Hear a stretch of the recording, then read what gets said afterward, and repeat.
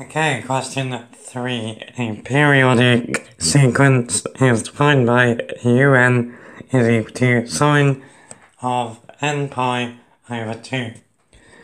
We want to state the period of this sequence. So, we know the period of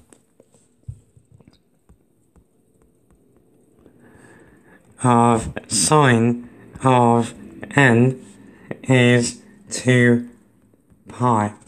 Now the period of sine of n times pi is going to be 2 pi over pi, which is 2. Now the period then of sine of n pi over 2 is 2 times 2, which is 4. So, there's our guy.